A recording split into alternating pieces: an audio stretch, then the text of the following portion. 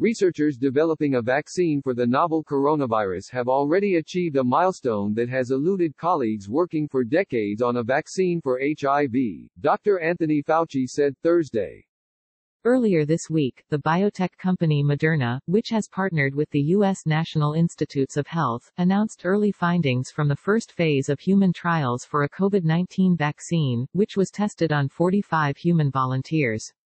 The early results were encouraging. Eight of those in the trial developed a specific type of antibody, a neutralizing antibody, that is associated with stopping the virus from infecting people. As Fauci said, neutralizing antibodies bind to the business end of the virus and block its ability to infect.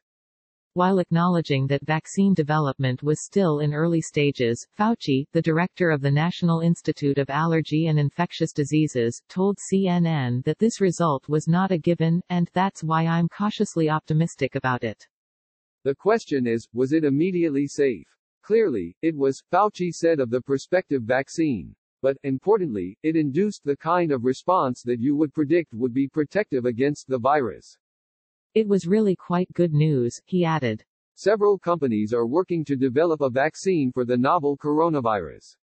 On Thursday, the U.S. government agreed to pay the British pharmaceutical giant AstraZeneca up to $1.2 billion to secure 300 million doses of its experimental vaccine.